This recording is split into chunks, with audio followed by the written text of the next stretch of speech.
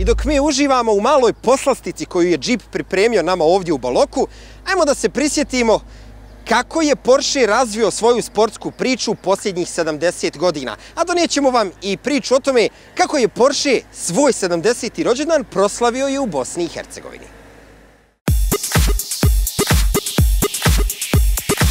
Početkom juna u Sarajevu je održana manifestacija 70 Years of Porsche, Porsche Sports Car Together Day.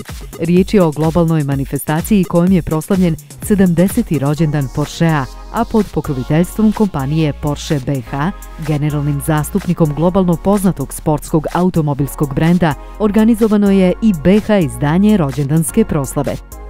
Mnogobrojne zvanice kroz spektakularan program imali su priliku prisjetiti se početaka Porschea, njegovog razvoja i rasta u sportsku ikonu.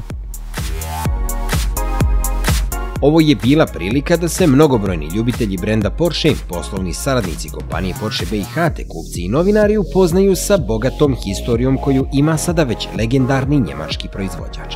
Posebnu pažnju prisutnima privukle su dvije ikone automobilizma, koji se i ne suzraćuju toliko često, čak ni na svjetskim ulicama.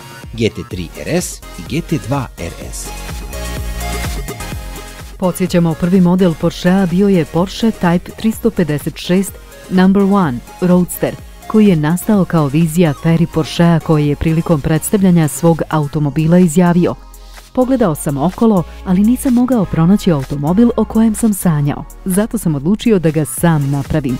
Od tada je počela bogata istorija ovog brenda i do danas kada Porsche ima punih sedam decenija postojanja, nametnuo se kao lider u savremenim automobilskim tehnologijama, sportskim izazovima te izazovima budućnosti.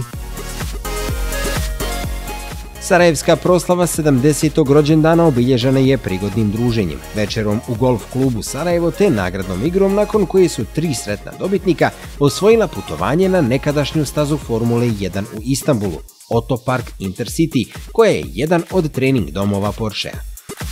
Spektakularna večer završena je spektakularnim vatrometom i uz pokoju kapljicu kiše.